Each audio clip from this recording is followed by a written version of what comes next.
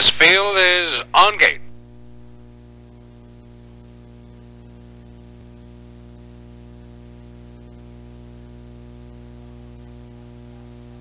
They're off on the outside. Tarport skipper tries for the lead on the inside. It's Walk Alone. Dexter Hanover between them into the first turn.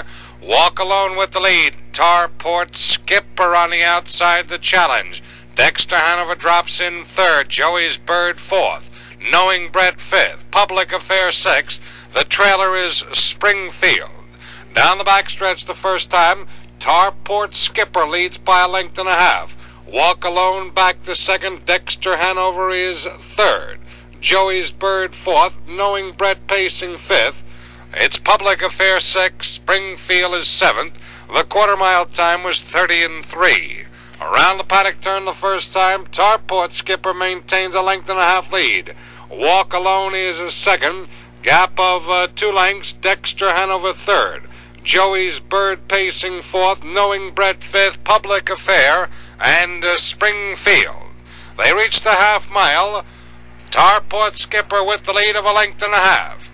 Walk Alone second. Mop on the outside. Knowing Brett is now third. Half mile in 102. Around the clubhouse turn the final time. Tarport skipper maintains a full length lead. Walk Alone is second. Knowing Brett on the outside a closer third.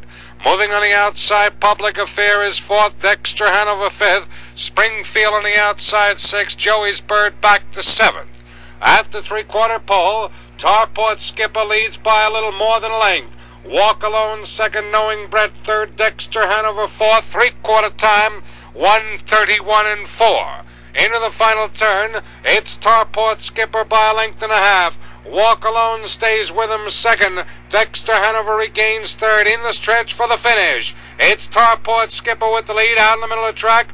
Walk Alone closing along the inside is a Dexter Hanover. It's Tarport skipper in front.